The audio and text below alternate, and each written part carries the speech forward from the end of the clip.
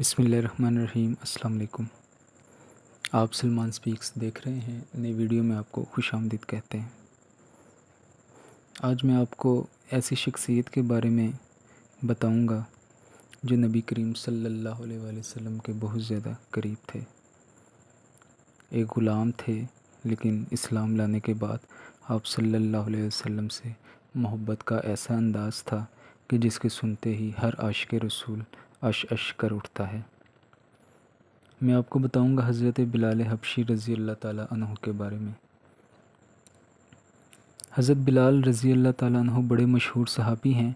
मक्का में मुसलमान हुए और इस्लाम कबूल करने पर बड़ी बड़ी तकलीफ़ें काफरों ने इनको पहुंचाईं, जिनका उन्होंने जवान मर्दी के साथ मुकाबला किया था और इनके वालिद का नाम रुबा और वालदा का नाम हमामा था।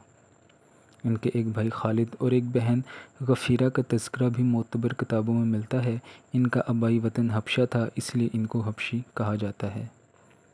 हज़रत बिलाल रज़ी हज़रत सैदना अलैहि वसल्लम के मौज़न और हर वक्त हाजिर खिदमत रहने वाले शख्स थे और इनके सपुर्द आप अलैहि वसल्लम के अखराज का इंतज़ाम भी था। इस्लाम लाने के बाद आप सल्लल्लाहु अलैहि वसल्लम के साथ जंग बदर और दूसरे तमाम जहादों में शरीक रहे। सबसे पहले उन्होंने ही अजान दी और आप सल्लल्लाहु अलैहि वसल्लम जब तक इस आलम में तशरीफ़ फरमा रहे, मस्जिद नबी के मौज़न हज़रत बिलाल थे। इनकी बड़ी बड़ी फजीलतें अहदीस की किताबों में मिलती हैं। मक्का में एक औरत के ग़ुलाम थे। इसी हालत में इस्लाम कबूल किया और मुशरकिन मक्का ने इस्लाम कबूल करने पर इन्हें सख्त सज़ाएँ दी। इनके दुख और तकलीफ़ और मुसीबत को देखकर हज़रत अबू बकर सिद्दीक रज़ी अल्लाह अन्हों ने इनको ख़रीद लिया और ख़रीद कर आज़ाद कर दिया। नबी पाक सल्लल्लाहु अलैहि वसल्लम जब ज़ाहरी दुनिया से तशरीफ़ ले गए तो हज़रत बिलाल ये गम बर्दाश्त ना कर सके और आप मुल्क शाम तशरीफ़ ले गए और वहीं पर रहने लगे। फिर कुछ अरसे बाद नबी पाक सल्लल्लाहु अलैहि वसल्लम हज़रत बिलाल हबशी के ख्वाब में आए और आपसे फ़रमाया, बिलाल, क्या बात है? तुमने तो हमें मिलना ही छोड़ दिया। आँख खुली तो बिलाल हबशी रज़ी अल्लाह तु बेकरार हो गए। उसी दिन सुबह उठे और मदीने का सफ़र इख्तियार किया।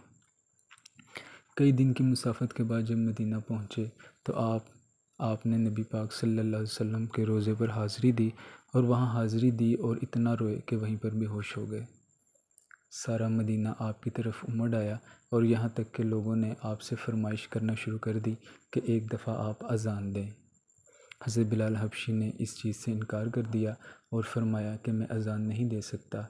इसी दौरान मदीना के लोगों ने हज़रत इमाम हसन और हुसैन से कहलवाया, जिसका हज़रत बिलाल हबशी इनकार नहीं कर सके।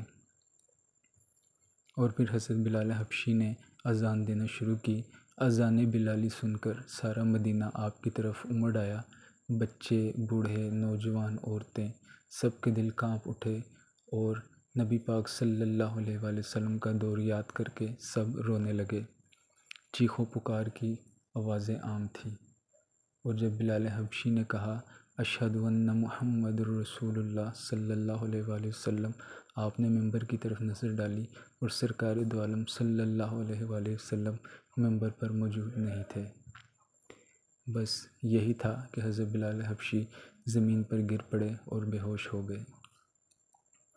आपको उठाया गया, आपको होश में लाया गया, अजान मुकम्मल ना हो सकी, हज़रत बिलाल हबशी ने सफ़र का इरादा किया और वापस मुल्क शाम तशरीफ़ ले आए।